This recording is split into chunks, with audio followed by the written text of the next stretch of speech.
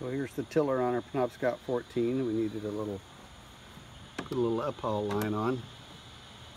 Just ran it, line through the top of the rudder head with the cam cleat. Little bee hole out the back here. Put this little eye strap on for now. I'm not sure if that's going to stay there.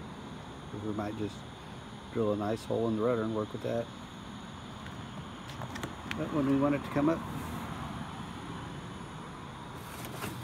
just grab this line, pull the rudder up, and then